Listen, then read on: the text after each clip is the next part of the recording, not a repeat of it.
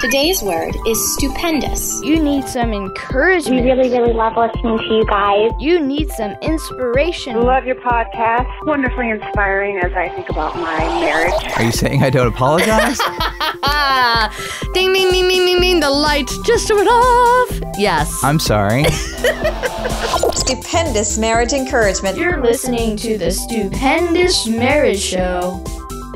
Hey there, welcome to the Stupendous Marriage Show. I am Stu Gray. hey, I'm Lisa Gray. This is a show where we answer questions from you. You know, a lot of times we feel like we're alone in our problems. And I thought you were going to say alone in the studio. I'm like, we are, unless somebody else is here. sometimes we feel like we're alone in our issues and problems in our marriage. And it's like, man, we're the only couple that goes through this. And this is horrible. This is terrible. And you can't think of what to do. And you don't have anybody to talk to. That is one of the reasons why we are here to let you know that there are hundreds and thousands of couples who might be struggling with similar things to what you struggle with. And if you ask a question, you can get some insight from us and you can kind of feel like you're not alone because there are hundreds of people who listen to this show who could be in the same boat as you. So you send your email to us on air at stupendousmarriage.com. You can text a question our way, 1 592 1060, or hook up with the big blue button at stupendousmarriage.com. You know, I had somebody ask me recently about our emails and that process. And just basically, they said, Gosh, I don't know if I would have the courage to email something in because I'm afraid my name might be mentioned or something like that. Just know no one sees the emails except Stu and I. And we would never, ever, ever share your name or any personal information on the show that might identify you because our heart is not to point out to everybody what's going on in your world, but really to hopefully offer some encouragement in what you're going through. And then also to have other listeners here so they might be encouraged to know they are not alone if you're going through the same thing that they are. There are a couple things happen when you share your story. The first thing is you get out of your head, you get out of your mind, and it's like, man, this whole weight lifts off of your shoulders. Yeah, absolutely. So that's the first thing that happens. The second thing happens, we read it, and you provide a place for us to have a conversation. So that is beneficial to you because you hear what we're talking about your situation, but then your situation is a springboard for hundreds of other people to also have conversations about their own marriage. While they might not be going through the same thing you're going through, they can then pick apart our conversation and the things in your email and have their own conversations to work through what they might be going through. I know that's what we do. Yeah, Sure. you know, we have the conversation on the microphone of what is happening in the email and what we think, but there's a lot of conversation that we have away from the microphone that benefits us in our marriages, things that we haven't thought about or things, wow, that's really interesting. Remember when we went through that, you know? And so it's really good and healthy for us that we actually do the show. So we love it. And on a whole other spiritual level, God speaks to people in different ways. And when we share something here, you know, it's like what Mr. Rogers used to say before every show. He wanted common ground, a holy space between every child who watched his mm, show yeah. and the TV screen. And we pray that for our show that God would move in your heart and speak something to you that isn't necessarily said, but you hear it and receive it based on your life and the spirit in you and the life situation that you're in. That is our hope for this show. And we do have an email coming up. So we're glad you're here.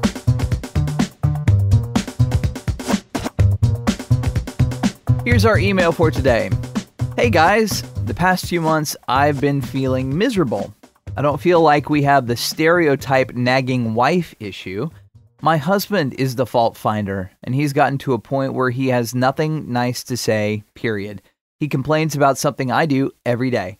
He mainly complains about minor things, but when the complaints outweigh anything good, it starts to boil over. Yesterday, I tried to tell him how he's been making me feel, but he turned it around as if it was all my fault and that he has a good reason for the things he says. I left our argument feeling sad and upset. He didn't even give me a chance to finish what I had to say. This morning, he's been acting as if no fight has ever occurred. Today, he has been speaking to me with respect, but I feel that he never apologizes. Clearly, he feels he's been in the wrong, so why does he not sit me down and say he's sorry?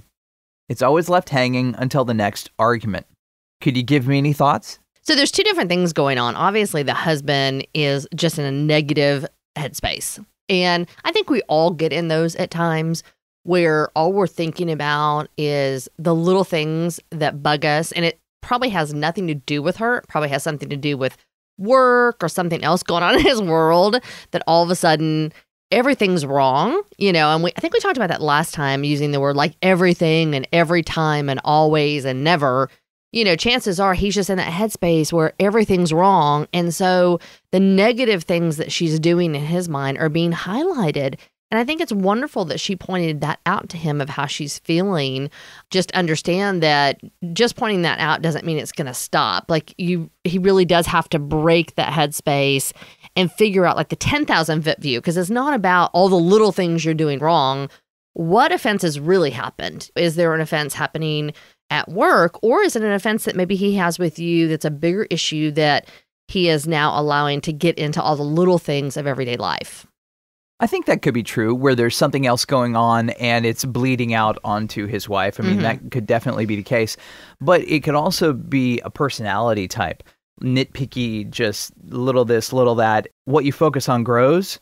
And I heard it said this weekend at church. It was a great phrase. We had a, a testimony weekend at church where people were sharing what God had done in their lives. And one of the couples had gotten up and just telling about miracle babies. And um, they decided to fast the internet during the pregnancy because they didn't want to see negative things about what could be wrong with the baby.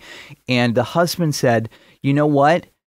You crave what you feed. Ah, yeah. I remember that line. It was so crazy. It was and impactful. that phrase has just been on my head and in my heart for the past several days and it is so true so you look for the negative thing and then you see the negative thing and you look for the negative thing you see the negative thing you're feeding you're feeding you're feeding you're feeding and guess what then you start to see it and you see it and you see it and you crave it and so it's just negative negative negative negative negative negative.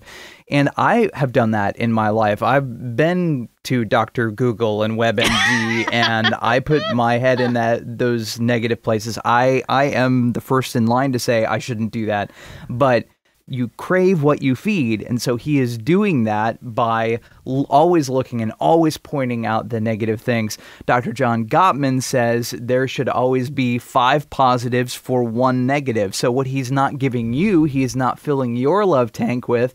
He needs to be saying five positive things to you for every one negative thing. And that is why you feel dumped on and you feel so low and so horrible because all he's doing is negative, negative, negative. now, all that to say, you can't change him. Right. You can't make him change his perspective, but you can change yours. And so, really trying to focus on maybe the one or two positive things he might say, right? Because there's got to be something in your day, something in your daily interaction that he is doing something, whether he gives you a kiss or gives you a hug or he cleans something for you or he picks something up for you or he says something semi nice and focusing on those things and really feeding those things back to him. No matter what he says negative, continue to try to build him up. And I think that's going to kind of counteract some of the negativity and might help him shake it off. The other thing, which you've already done, is have a conversation. A lot of times, I know for you, Stu, when you get in that negative headspace, you're not even consciously aware of it. And if I say, Hey, what's going on? Because you seem like you're in a bad mood or you're kind of grumpy. What's happening? A lot of times, all of a sudden, you have an awareness that, wow, I, I really am. I didn't realize I was that way. And then you start talking to me about it and processing, even if it's towards me in a negative way, outside of your head, really usually helps deflate the situation. And so, just remembering you know, our role as a spouse is not just to be loved by our spouse, but to love our spouse in spite of whether they deserve it or not. You know what I mean? And so if she can love him through the season and speak life and love to him, then hopefully he will come out of the clouds and be able to get some clarity and realize that that is kind of what's happening with him. And what you had talked about, the expectation of an apology. I was going to bring that up next because we've just had this conversation in the past couple of weeks in our house. well, it's, we're we're this way where we have a tough conversation and then we walk away and we act like nothing ever happened. uh, I don't know if I'd say we in that um, context. I I'm pretty good at apologizing. Are you saying I don't apologize? ding ding ding ding ding ding. The light just went off. Yes. I'm sorry. well, we just had this conversation because our son something happened and he didn't apologize and and I said, you know, do you remember that conversation of us talking about that and Are you talking with me? Are you saying that I, I need to remember that conversation? I'm not talking to someone else in the room. I, thought you, I thought you were talking about saying that to our son. Do you remember that conversation? Not me. Yes, I remember you telling me in that conversation that I need to be more apologetic to you so our son can actually see the apology taking place because he doesn't do it very well. And maybe he's learning that from his dad. Yeah, well, yeah. I heard that very loud and clear. Thank you. I appreciate that. Yes. But you know, it really is interesting. When I read that, I'm like, you know, we do the, I mean, honestly, we have fights and a lot of times the next day, especially if they're silly stuff, we don't go into some big discussion about why we were annoyed or what I did or you did. But at the same time, there are times that I'm just like kind of throw up on you or you throw up on me. And we need to go back and acknowledge that. And there needs to be some hey i'm sorry and you've actually gotten a lot better at that. So for you know 15 years you definitely weren't good at about that and i think that's something you've really grown in over the past couple of years of trying to especially if it's a big deal coming back and saying hey i'm sorry like i didn't mean to hurt you and and that kind of stuff. So again not something she can change in him but it is something that you have to pick your battles with. Is it something worth starting another fight over to get him to say sorry or do you wait until you guys are not arguing and have a good conversation? I think that's when you and I have had them, is when we're not in the middle of a fight. And I've said, by the way, I would love it if when we do fight, if you can come back and pursue me or, or apologize to me. Other couple thoughts that I had is there any truth in the nitpicky things that he is talking about? Is there anything you can do to change your behavior so he's not finding those things that may be truth or not in what he's nitpicking you on. I don't know what he's criticizing you about. So that's just a thought I had.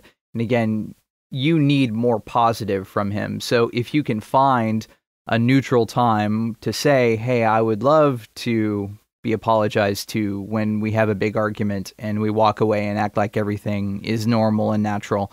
So really saying that to him in a time when he isn't isn't upset, but you know him best and you're in the relationship with him, so you have to determine when that time is. I really can't tell you when the perfect time is to say that to him because if he's always finding something negative, you do have the potential for off the cuff negative comments, even asking for an apology. So that's kind of a bummer. And I don't know how explosive that situation is. Yeah. And it goes back to the 10,000 foot view, really trying to discern and talk to him from a loving way, not a, hey, I'm mad at you because you don't apologize, or I'm mad at you because you criticize me, but more of a, honey, what's going on? Like, I've just really sensed that you've been really upset and aggravated with a lot of different things lately. And what's happening in your world that's causing you to be in that headspace and, and how can I help you and and try to come to him in a way that you're coming to him in love and not in judgment or criticizing him. Now, here's an opportunity for you to join in the conversation. If you have a situation that happens in your marriage and then you walk away, how do you resolve your fight?